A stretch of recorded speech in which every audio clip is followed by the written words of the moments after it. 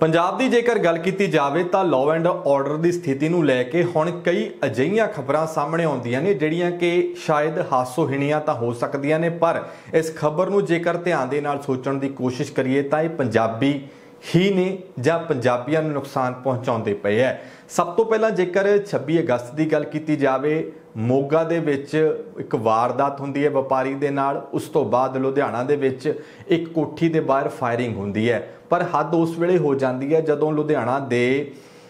ਇੱਕ ਮਸ਼ਹੂਰ bakery, Sindhi bakery ਦੇ ਵਿੱਚ, ਸਿੰਧੀ ਬੇਕਰੀ ਦੇ ਮਾਲਕ ਦੇ ਮੁੰਡੇ ਤੇ ਗੋਲੀ ਮਾਰਨ ਦੀ ਕੋਸ਼ਿਸ਼ ਕੀਤੀ ਜਾਂਦੀ ਹੈ, ਉਹ ਜ਼ਖਮੀ ਹੋ ਜਾਂਦਾ ਹੈ ਉਸ ਨੂੰ ਹਸਪਤਾਲ ਦੇ ਵਿੱਚ ਭਰਤੀ ਕਰਵਾਇਆ ਜਾਂਦਾ ਹੈ। ਇਸ ਪੂਰੇ ਖਬਰ ਤੋਂ ਬਾਅਦ ਜਿੱਥੇ ਉਸ ਮੌਕੇ ਉਸ ਬੇਕਰੀ ਦੇ ਬਾਹਰ ਪੁਲਿਸ ਪਹੁੰਚਦੀ ਹੈ, ਵਿਧਾਇਕ ਸਾਹਿਬ ਪਹੁੰਚਦੇ ਨੇ, ਬੇਕਰੀ ਦੇ ਵਿੱਚ ਕੰਮ ਕਰਨ ਵਾਲੇ ਸ਼ਖਸ ਦੱਸਦੇ ਨੇ ਕਿ ਨੌਜਵਾਨ ਆਉਂਦੇ ਆ ਐਕਟਿਵਾ ਤੇ ਆਉਂਦੇ ਆ ਪਹਿਲਾਂ ਉਹ ਗੋਲੀ ਮਾਰਨ ਦੀ ਕੋਸ਼ਿਸ਼ ਕਰਦੇ ਆ, ਦੁਕਾਨ ਦੇ ਵਿੱਚ ਫਾਇਰਿੰਗ ਕਰਦੇ ਆ, ਪਰ ਗੋਲੀ ਨਹੀਂ ਚੱਲਦੀ। ਫਿਰ ਉਹ ਕੁਝ ਸਮੇਂ ਬਾਅਦ ਫੇਰ ਆਉਂਦੇ ਆ ਤੇ ਦੁਕਾਨਦਾਰ ਦੇ ਮਾਲਕ ਦੇ ਬੇਟੇ ਦੇ ਗੋਲੀ ਮੰਨਿਆ ਜਾ ਰਿਹਾ ਹੈ ਕਿ ਕੰਨ ਕੋਲੋਂ ਲੰਘ ਜਾਂਦੀ ਹੈ। ਉਸ ਤੇ ਗੋਲੀ ਦਾ ਛਰਲਾ ਲੱਗਦਾ ਹੈ ਕਿ ਗੋਲੀ ਲੱਗਦੀ ਹੈ, ਇਹ ਇੱਕ ਵੱਖਰਾ ਵਿਸ਼ਾ ਹੈ। ਉਸ ਤੋਂ ਬਾਅਦ ਪੁਲਿਸ ਦੇ ਵੱਲੋਂ ਚੌਕਸੀ ਵਧਾ ਦਿੱਤੀ ਜਾਂਦੀ ਹੈ ਤੇ ਮੋਗਾ ਦੇ ਵਿੱਚ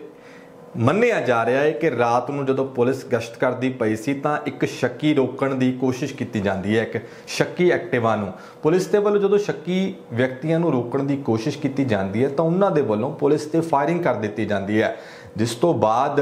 ਜਦੋਂ ਉਹਨਾਂ ਲੋਕਾਂ ਨੂੰ ਫੜਿਆ ਜਾਂਦਾ ਹੈ ਤਾਂ ਇਹਨਾਂ ਦੇ ਸਬੰਧ ਬਾਹਰ ਬੈਠੇ ਗੋਪੀ ਲਾਹੌਰੀਏ ਦੇ ਨਾਲ ਦੱਸੇ ਜਾਂਦੇ ਆ। ਇਹ ਸ਼ਖਸ, ਇਹ ਮੁੰਡੇ ਉਹੀ ਨੇ ਜਿਨ੍ਹਾਂ ਦੇ ਵੱਲੋਂ ਇਹ ਤਿੰਨੇ ਵਾਰਦਾਤਾਂ ਨੂੰ ਅੰਜਾਮ ਦਿੱਤਾ ਗਿਆ। ਇਹਨਾਂ ਤੇ ਪਹਿਲਾਂ ਵੀ ਮਾਮਲੇ ਦਰਜ ਕੀਤੇ ਹੋਏ ਨੇ। ਜੇਕਰ ਇਹਨਾਂ ਦੇ ਨਾਮਾਂ ਦੀ ਗੱਲ ਕੀਤੀ ਜਾਵੇ, ਤਾਂ ਜਗਮੀਤ ਤੇ ਵਿਕਾਸ ਇਹਨਾਂ ਦਾ ਨਾਮ ਹੈ, ਜਿਨ੍ਹਾਂ ਦੇ, ਜਿਨ੍ਹਾਂ ਤੋਂ ਇਹ ਭਾਵੇਂ ਕਿ ਅਸਲਾ ਵੀ ਬਰਾਮਦ ਕੀਤਾ ਗਿਆ ਤੇ ਨਾਲ ਦੀ ਨਾਲ ਜਿਹੜੀ ਸਿੰਧੀ ਬਿਕਰੀ ਦਾ ਪੂਰਾ ਮਾਮਲਾ ਸੀ ਅਸਲ ਦੇ ਵਿੱਚ ਕਈ ਲੋਕ ਸਵਾਲ ਕਰਦੇ ਪਏ ਸੀ ਕਿ ਫਰੋਤੀ ਦਾ ਮਾਮਲਾ ਕਈ ਘਰ ਦੀ ਗੱਲ ਕਰਦੇ ਪਏ ਸਨ ਪਰ ਅਜਿਹੇ ਦੇ ਵਿੱਚ